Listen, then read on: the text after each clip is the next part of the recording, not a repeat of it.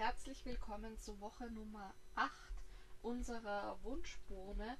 Man sieht, dass die Blätter hier vorne langsam ähm, herauskommen und es hat sich in der Woche einiges getan. Das möchte ich einfach ein bisschen zusammenfassend zeigen.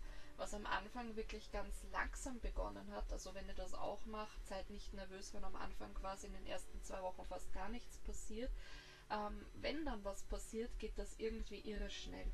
Man sieht dann auch nach ein paar Tagen in dieser Woche Nummer 8 hat sich das gleich, ähm, hat sich die Bohne richtig geteilt und die Blätter sind immer mehr und mehr zu sehen. Ich bin schon irre gespannt, wann der Name verblassen wird, also unser Wunsch.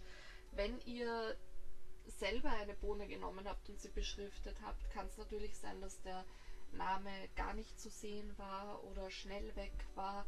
Das ähm, macht aber nichts, dann könnt ihr das ja wirklich daran festmachen, ob eure Bohne, bis sie halt wächst und wächst und sprießt, dass dann euer Wunsch in Erfüllung geht.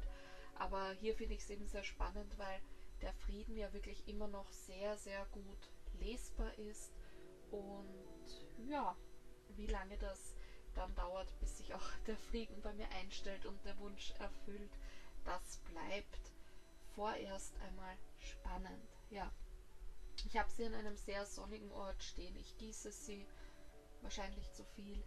Ja, das ist auf jeden Fall der aktuelle Stand der Dinge von Woche Nummer 8.